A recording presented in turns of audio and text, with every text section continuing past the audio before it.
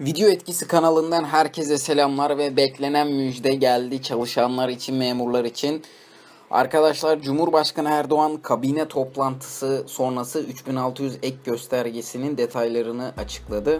Ekonomiye ilişkin mesajlar veren Sayın Cumhurbaşkanı Erdoğan şunları söyledi.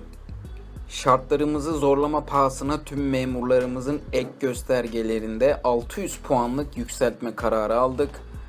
Çalışmayı tamamladık. İlk gündeme geldiğinde öğretmenlerimize, polislerimize, sağlık çalışanlarımızaydı.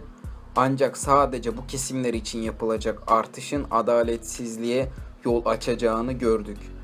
Bunun için tüm memurlarımızın ek göstergelerinde 600 puanlık göstergeye gitmeyi planladık. Önümüzdeki yıl başından itibaren yararlanılacak. Genel müdür yardımcılarının ek göstergeleri 3600'den 4400'e, şube müdürü, ilçe müdürü seviyesindeki yöneticilerin 2200'den 3000'e çıkacak. Yapılan araç artışlar elbette halen emekli olan kamu görevlilerinin maaşlarına da yansıtılacaktır.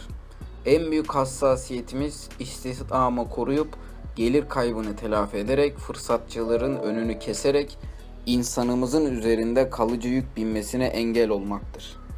Memurlarımızın maaşlarında küçük de olsa artış sağlanmasının ötesinde asıl emekli ikramiyeleri ve emekli maaşlarında ciddi kazanımlar getiriyor dedi. Evet arkadaşlar açıklama bu şekildeydi. Ek gösterge düzenlemesiyle memur maaşları 1234 TL ile 1391 TL arasında, ikramiyeler ise 44.500 ile 50.150 TL arasında artacak. Peki ek gösterge nedir diye soracak olursanız ek gösterge kamu görevlilerinin çalışırken maaşlarını, emekli olduklarında ikramiye ve aylıklarını belirleyen en önemli kalemlerden biri. Ek gösterge rakamları ünvan, hizmet sınıfı ve derecelere göre farklılık gösteriyor. Ek gösterge yükseldikçe emekli aylığı ve emeklilik ikramiyesi rakamı da yükseliyor.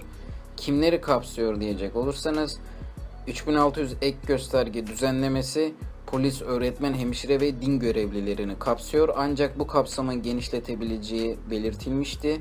Kimlerin bu düzenlemeden faydalanacağı nihai açıklama sonrası netleşecek demiştik emeklilere yarayacak mı? Düzenleme ile birlikte emeklilerin maaşında da artış olacak.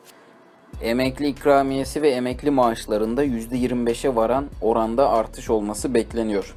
Arkadaşlar video etkisi kanalından şimdilik bu kadar. Siz de düşüncelerinizi yorumlarda belirtebilirsiniz. Videomuzu izlediğiniz için teşekkür ederiz. Bir sonraki videoda görüşmek üzere. Hoşçakalın.